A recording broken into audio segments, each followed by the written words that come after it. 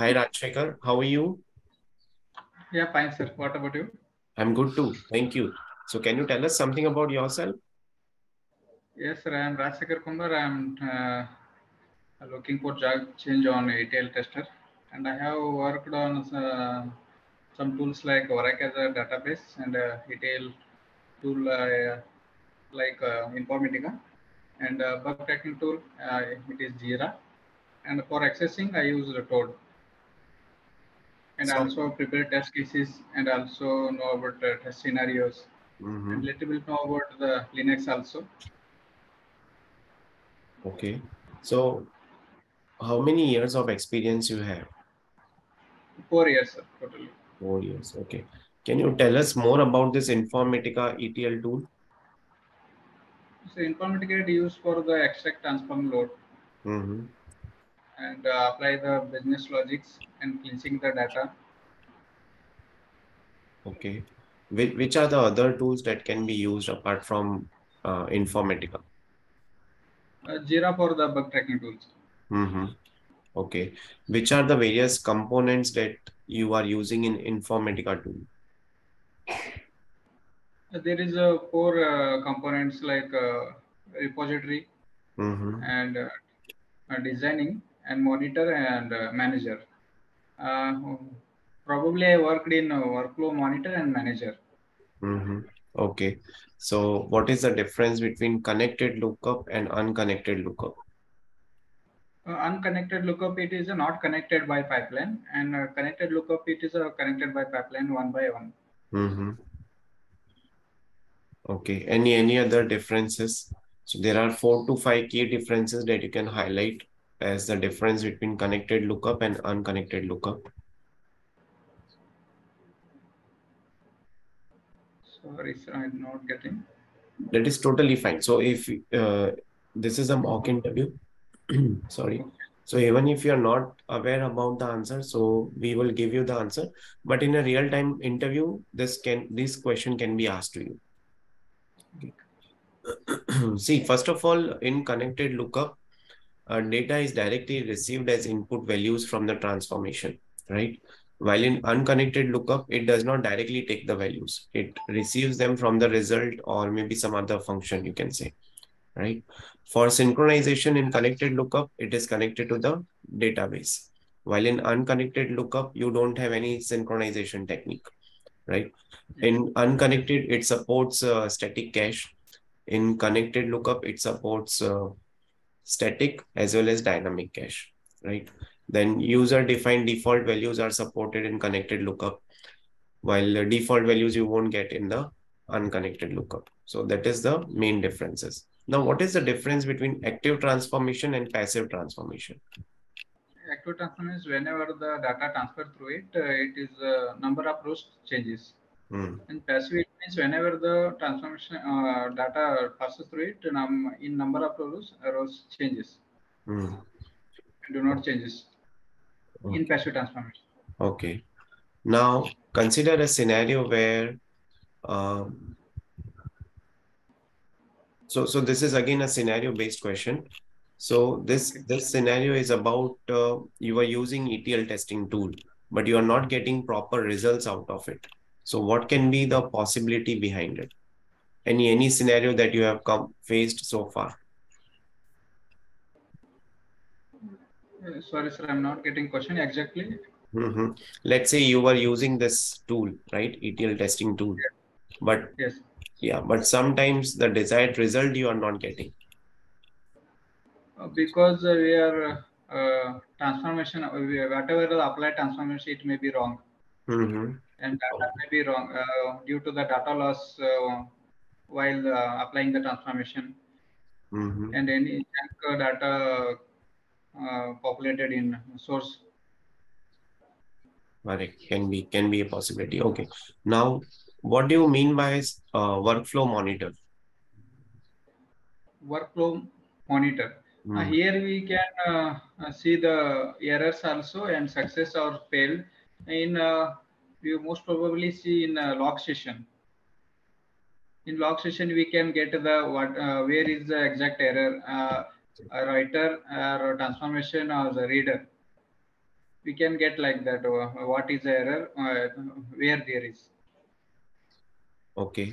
And what is the difference between stop option and abort option? stop is uh, uh, stopping the process Mm-hmm. Award is uh, totally de- stop the process i Mm-hmm. mean totally discard the discard that process Right. Abort option means it will fully terminate the currently running Process. task. Stop. Yeah. Right. Stop option will execute the session task and it will allow another task to run simultaneously. Right. So yes in, in other words, stop option will not kill any processes, but it does stop processes from moving further, from sharing resources. Right. Okay. So that is the basic difference. Now, can you can you tell me few of the ETL testing bugs that you have found so far? yeah uh, in transformation bug and source bug target bug uh, as well as count mismatch null values populated in target and also some uh, special character uh, junk junk data populated Hmm, while we are transferring the source to the staging area and also extra data loaded in target correct. Okay, what is the importance of partitioning in a session? partitioning in the session it is uh, improve the performance of the flow of the data uh, Mhm. source to target Okay. Uh, what what actually uh, apart from improving the performance, so how how actually it will improve the performance? it is run parallelly sessions one by one Mhm. So with the partitioning option, you can say a large data set can be divided into smaller parts that can be processed in a parallel operation, as you were mentioning, right? Which improves the overall performance, right? It also improves the efficiency, these kind of optimizing sessions, right? It would increase the server efficiency and server performance as well. Okay, what is what do you mean by star schema? star schema is the uh, centralized located fact table and uh, surrounded by the dimension table Mhm. And are you aware about fact table in that? yes i know So what is what is fact table? What is dimension table? dimension table is contain primary key and it is a alphanumerical value and it is contained uh, detailed descriptive data about the business and Hmm. coming to fact coming table uh, fact table is uh, contain numerical data and it is contain uh, prime foreign key and uh, it is contain the measures about the business Mhm. is the details about the business Okay. Let's say you have some junior member who has joined your organization, right? And he or she is writing the test cases. So how will you review those test cases? Based on client requirement, uh, first of all, I study the STM document. Based on that, I will check also whatever written by the my junior, and uh, it is uh, cover covered by the covered all the requirements covered in that. It is okay. Then any extra or any less test cases I will add, and extra any extras I will remove that and any any corrections and any scenarios are missed, any test cases are missed, and any uh, uh, that's it, sir. Yeah, that is fine. So whichever test cases are not relevant, you will remove them. Whichever are relevant, you will keep them in the tool or let's say any repository that you are having. But which are the different parameters on the basis of which you will determine that whether those test scenarios, those test cases written by your team member are relevant or those are irrelevant? Based on client requirement, uh, suppose uh, client in uh, STM document, client says uh, some names like I need uh, such as names like in target. Mhm. We, we have to write uh, test cases like that uh, conversion, uh, some salary, some salary or full name, full name by the first name and last name. We have to write the concat between first name and last name. We have to uh, mention the new column in the target. it, it, uh, I will check that mentioned or not, uh, that transformation applied or not. I'll check like that in test cases. Okay. All right. Which are the challenges that you have faced so far in while doing ETL testing? Uh, heterogeneous sources uh, like flat files database uh, uh, and uh, mm, bulk data uh, coming from the client and it is uh, very challenging for the validator while the flat file for ground checking Hmm. in source and also the more data already present in the data warehouse Hmm. also you have to check the incremental load it is also challenging Okay. historical data are already present in data warehouse Mhm. and some technical issue and data loss during the ETL process. Right.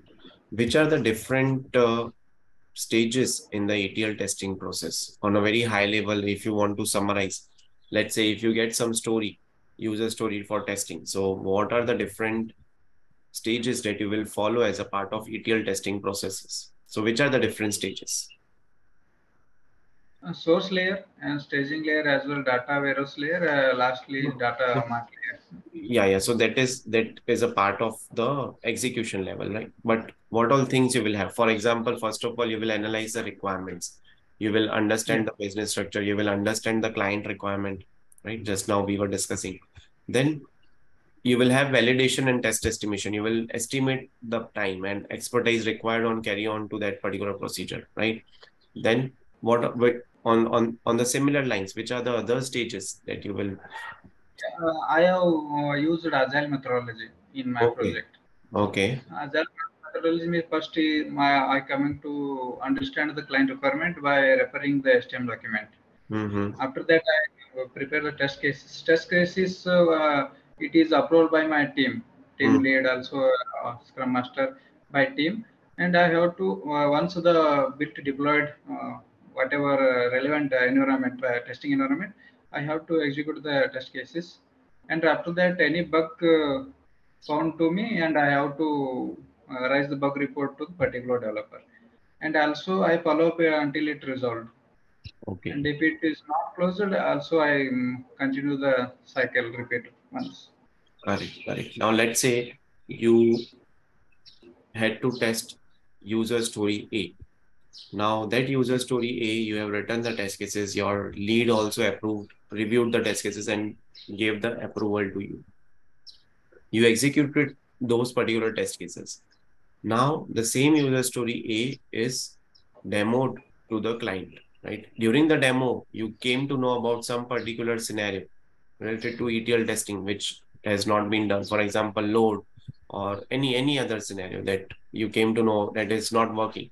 So demo got failed, right? So how will you handle this kind of situation? Yeah, first of all, I convince uh, my team lead. Hmm. Uh, I suggest to convince also client because it is uh, end, uh, end stage for the we came to up to uh, releasing stage. It means the end of the project because no more time. We have no more time to release. In that scenario, we have to convince for the client. Uh, we request like that. Give me more time, at least for the uh, retest or it is for the fix uh, that whatever bug remained. So so they have already they had already allocated you the time, right? You had the time to write test cases, you had time to get it reviewed, you had time to get it approval. Now during the demo, why the demo was scheduled? Because that particular user story is completed. That is why the demo has been scheduled. So now coming to that aspect, in the demo, if that particular thing is not working, so how will you handle this scenario? Mm, sorry, sir, didn't face it like scenario. But let's say if you face in the future, then what will you do? Because in the demo, everyone would be there. And that particular thing, let's say in the user story A, you had tested 10 acceptance criteria over there. You had tested all of them, but some particular scenario has been missed. So how will you handle this situation?